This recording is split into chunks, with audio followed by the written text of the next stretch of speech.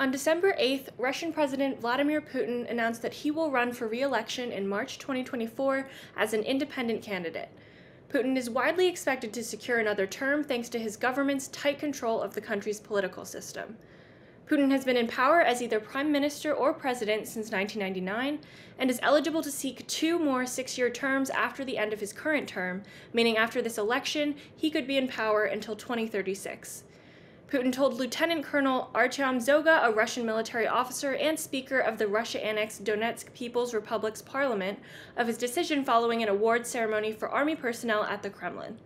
By framing his announcement as a response to Zhoga, a war veteran and Donbass politician, Putin's announcement of his decision to run is intended to create the optics that Putin's candidacy comes at the request of the military, thereby strengthening loyalty within the army and bolstering Putin's support among war participants